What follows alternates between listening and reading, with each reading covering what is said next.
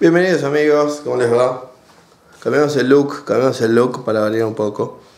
Este, ¿Qué es lo que nos trae esta, esta vuelta, este video? Bueno, algo como dice bien el título, diferenciemos entre los LCD y los, y los eh, LCD TV y los LED TV, ¿está bien? Me queda, más lindo, me queda más lindo con el gorro, me parece.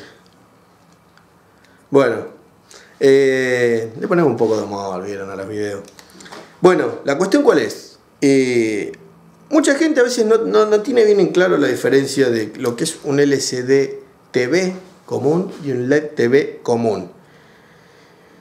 La diferencia principal básicamente son los dos LCDs, digamos, porque la pantalla es justamente de LCD en ambos casos, ¿de acuerdo? Ahora, eh, la placa de fuente casi también es muy parecida, la placa de lógica también. ¿Cuál es la diferencia principal? Bueno, los, LCD trabajan con lámparas de baja luz fría, de cátodo frío, CCFL, como yo expliqué en un par de videos, este, cuando se joden las lámparas esas que prenden, que son encendidas por los inverters, ¿de acuerdo? Ahora bien, un LED TV tiene esto de backlight, ¿está bien? En lugar de tener lámparas CCFL, tiene esto que parecen como botones, pero son LED en realidad. Esto, ¿cómo viene esto detrás? Detrás del backlight, digamos. Eh, lo único que cambia básicamente es, el backlight, digamos. ¿Ven? Esto es el backlight, hecho con LED. Nada más que eso, señores. Nada más que eso. Es una tira LED con un LED cojudo, que más o menos cada LED consume 3 volt. ¿Está bien? Y hay que ponerle 30 volt para encender toda esta tira, como les voy a poner la foto, probando el otro día, descubrimos que más o menos con 3 volt enciende. ¿De acuerdo?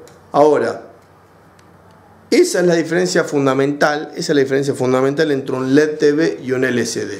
Solamente la luz que te genera el backlight. En uno tiene lámparas SFL, luz de cátodo frío, ¿está bien? Y en otro usa LED. Nada más que eso. La pantalla, todo lo mismo lo mismo, es una, una venta marketing.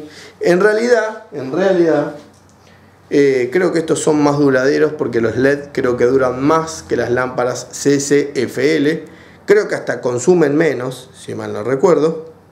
Eh, pero nada, es eso básicamente. ¿De Fíjense, parecen botones. Tienen todas muchas tiras de LED, como lo ven en las fotos. Y eso es lo que hace que te genere un backlight. ¿Está bien? Nos vemos, señores. Espero que les haya gustado el video. Es un tip breve, pero muchas veces la gente no lo sabe. ¿Está bien? Adiós.